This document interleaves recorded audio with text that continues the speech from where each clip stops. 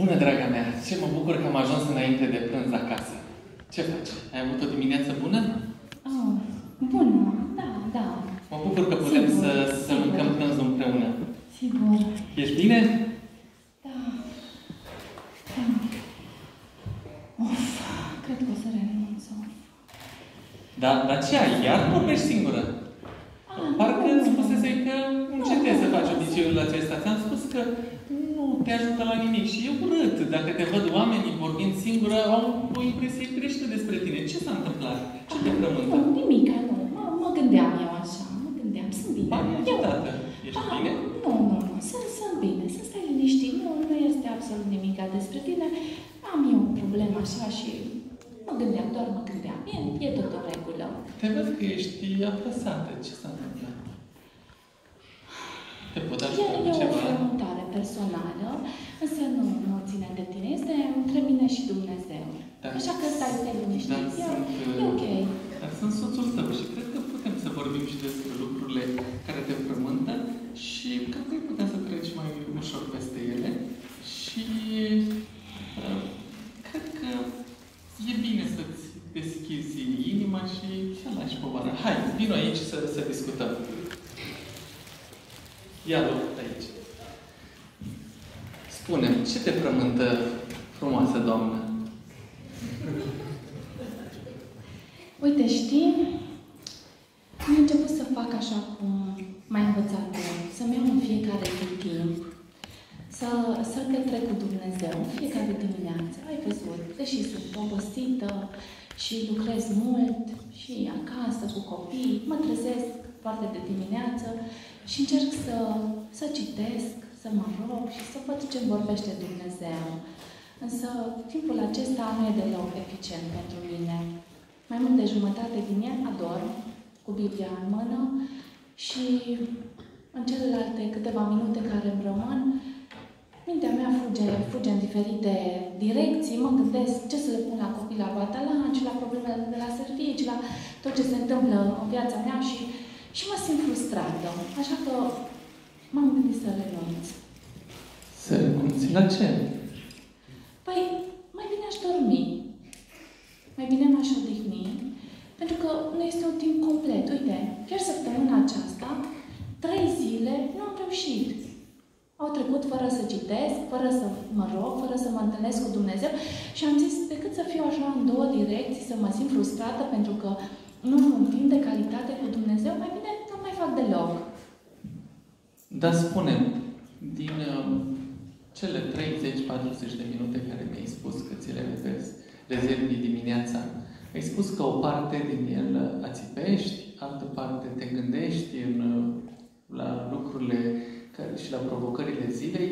Uh, Chiar nu ai niciun timp, adică din acesta cam cât totuși îl petreci în studiu și în rugăciune, Da, sunt, sunt câteva minute, poate 10 minute, da, dar 10 minute e mai mult decât deloc.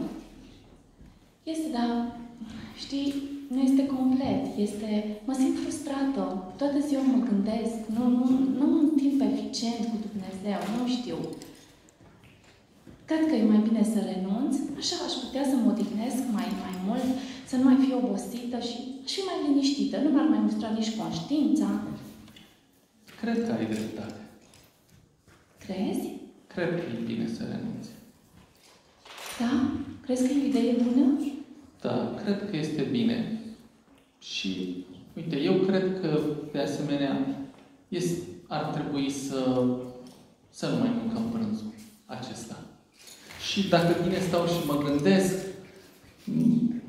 m-am hotărât să renunț la toate prânzurile. Cum adică? Ce vrei să zici? Te vedeai mai greșat un pic aici în Canada? Nu mai vreau să mănânc prânzul. Așa ceva nu se poate, Liviu. Cum? Cum adică să nu mănânci? Ce, Păi- ce vrei să spui? Vreau să-ți Nu spun, înțeleg. uite, următorul lucru. Că de atât de multe ori sunt plecat de acasă și sar peste masa de prânz. Uite, numai săptămâna trecută nu am mâncat trei prânzuri. Da, nu e nicio problemă. te Adică duci, îți nu am mănânci mâncat acolo. trei prânzuri decât să când mănânc, când nu mănânc, mai bine nu mai mănânc deloc. Și de multe ori întârzi la prânz sau uneori la prânz nu reușesc să mănânc decât un mic sandwich. Nu. În loc să mănânc o masă copioasă și să pot să am un timp îmbelșugat la masă, să se așeze mâncarea. Ce e ăla? Când e prânz, când nu e prânz? Da. Când e o masă copioasă, când nu e doar un sandwich? M-am hotărât, gata cu prânzul. Nu mai mănânc, de ce să mai mă complexez? Și plus de alte că, că atunci când nu mănânc prânzul, uneori, știi ce fac? Mănânc mâncăruri fără factori nutrienți. Ba o bomboană, ba o ciocolată și atunci mă simt vinovat. Nu-i mai bine să nu mai mănânc prânzul?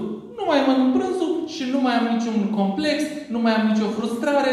Gata, gata cu prânzurile. Am înțeles. Am înțeles, de fapt, tu ce vrei să-mi spui. De fapt, tu ai făcut o paralelă între problema mea sufletească și prânzul.